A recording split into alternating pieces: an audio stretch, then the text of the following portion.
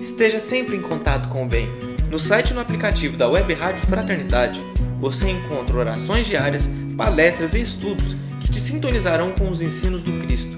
Para acessá-los, basta entrar no site www.radiofraternidade.com.br ou baixar o aplicativo da Rádio Fraternidade. Neles, você pode ouvir a rádio em tempo real ou acessar o nosso acervo, Web Rádio Fraternidade, a emissora do bem na internet.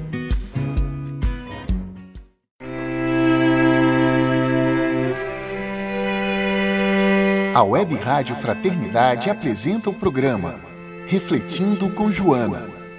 Apresentação Renner Cunha.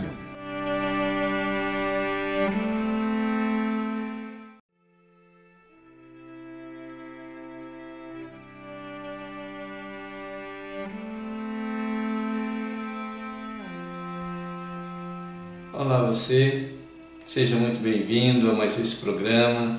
Uma alegria tê-los aqui, nos ouvindo aí pela rádio e também pelo canal. Dando sequência ao programa anterior, que estávamos falando sobre a reciclagem do nosso subconsciente. Como que a gente conseguiria, né, através de exercícios que Joana de Angeles traz para nós, para imprimir em nós um novo comportamento, novas atitudes, um novo entendimento. E ela diz que é uma tarefa que cumpre é, ser destituída de autocompaixão, de autocrítica, de autopunição e de autojustificação. O que, que ela traz para nós? Nesse programa, a gente finaliza agora esse item da reciclagem, que no próximo nós vamos falar né, sobre o subconsciente e os sonhos. Os sonhos que nós temos e essa relação do subconsciente. Lembrando que o subconsciente é aquele que tem a, a nossa memória de longo prazo. E ele é automático, né? ele se expressa automaticamente. Para Freud, está lá no id dele, né? Freud tem essa estrutura da psique aí, segundo Freud, id, ego e superego. No id, que é o inconsciente, ou para Jung, que é, é, os arquétipos, aquilo que nós trazemos, as nossas lembranças, imagens, aprendizados, os modelos que nós trazemos em nosso espírito, só para a gente entender. Então, no subconsciente eu posso, porque ele vem automaticamente. E o importante para a gente entender é que o subconsciente não tem é, um juízo de valor, um juízo ético-moral.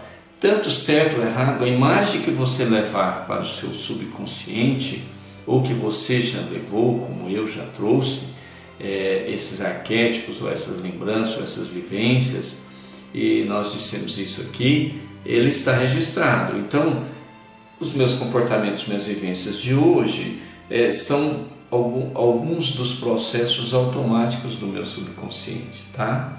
E aí Joana vem, Joana vem trazer mais um ensinamento para nós, dizendo o seguinte, liberando-se dos substratos anestesiantes e perturbadores, deve-se reciclar o subconsciente, preenchendo os espaços com novos elementos portadores de campos de radiação equilibrada, estimuladora, para avançar na conquista do ser profundo, interior do nosso self, segundo Jung. Né? O que, que são esses substratos anestesiantes e perturbadores? É toda aquela ação que venha de impulsos do meu espírito que está aí no meu registro, no meu inconsciente ou no meu self, ou o termo que você quiser usar, gente. Não, não se apegue a termos. Apegue ao, ao aprendizado, ao entendimento.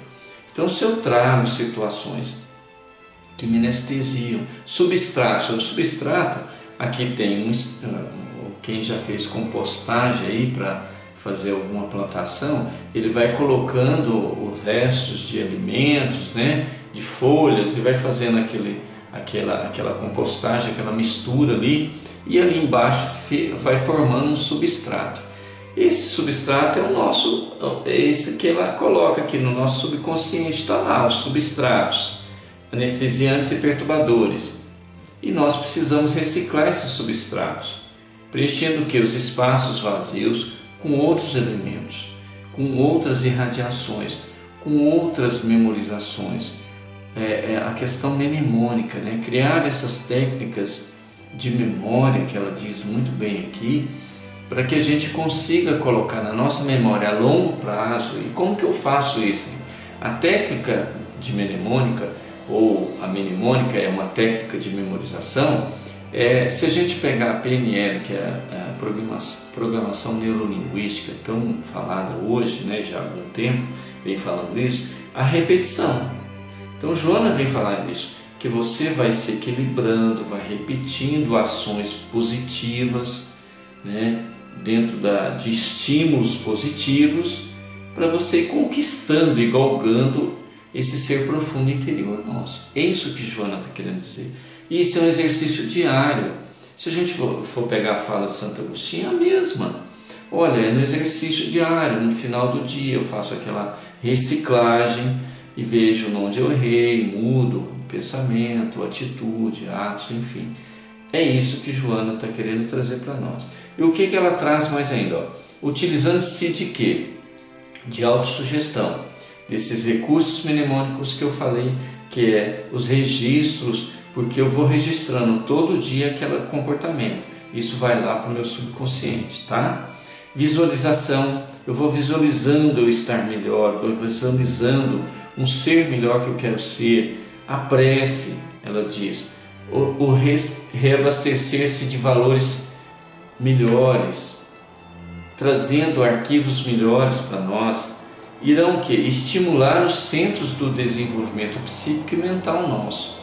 Quanto mais eu vou estimulando com coisas boas, eu vou trazendo para o meu subconsciente isso. Que faz o que? Resumarão no futuro com sensações de paz, de claridade mental, lembra da lucidez mental, para a gente tirar os vícios mentais que nós falamos já.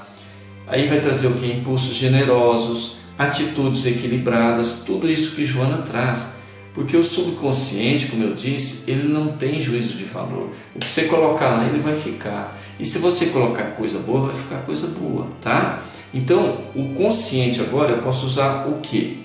A fala, as imagens, a escrita, a, a meditação, os bons pensamentos, é, a prece, tudo isso para enriquecer o meu mundo interior, tá?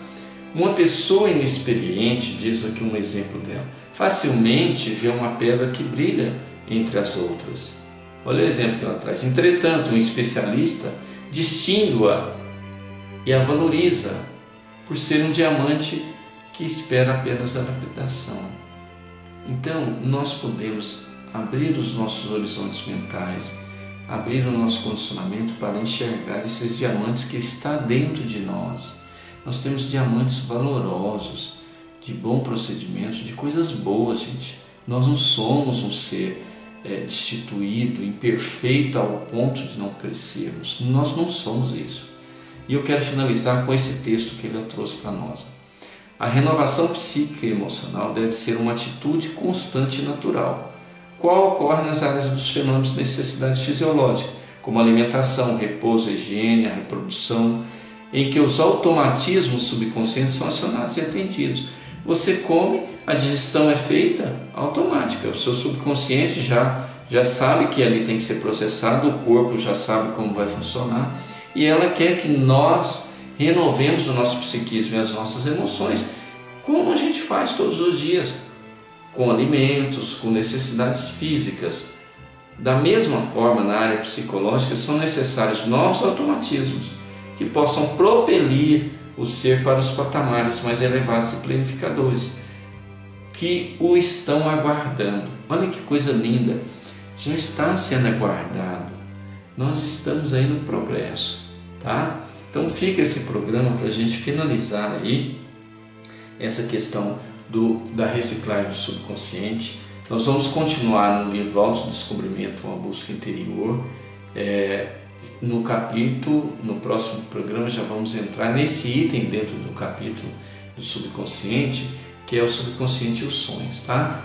Então, se vocês querem compartilhar algum sonho, alguma coisa, vocês já vão pensando aí, pode escrever lá para a rádio, Rádio Fraternidade, tem aí Web Rádio Fraternidade, e vocês podem escrever e nós vamos discutir aqui, trazendo essas reflexões para nós.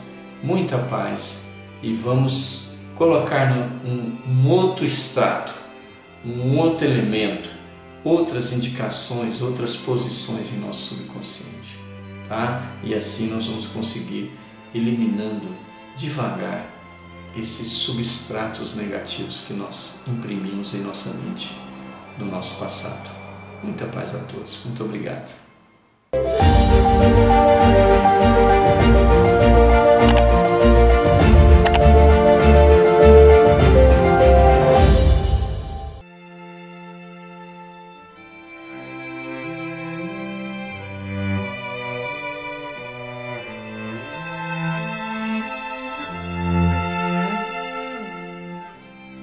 A Web Rádio Fraternidade apresentou o programa Refletindo com Joana.